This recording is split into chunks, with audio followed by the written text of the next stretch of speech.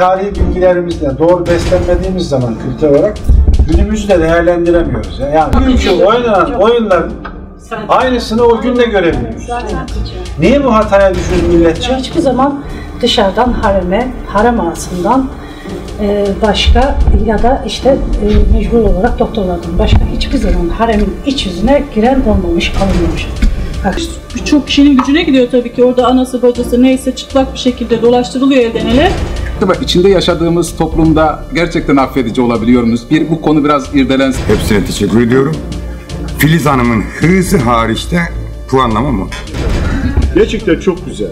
Çünkü yani böyle kıytırık bir kitaptan güzel bir malzeme çıkartmışsınız. Şimdiye kadar öğrendiğim bilgilerin doğru olmadığını bu kitapla öğrendim. Ben çok memnun oldum bunu seçtiğimize yani. Şu andaki siyasi hayat Türkiye'de olanlar birebir aynısı karşılaştırma yapınca bana çok tanıdık geldi yani yapılan olaylar.